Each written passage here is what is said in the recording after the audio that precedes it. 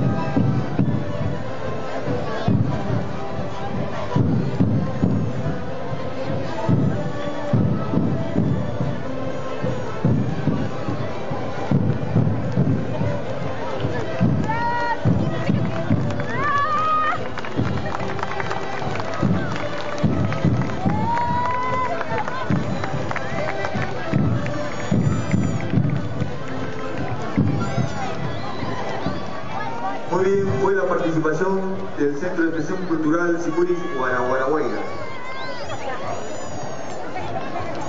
Esta es una tarde festiva, una tarde donde el instrumento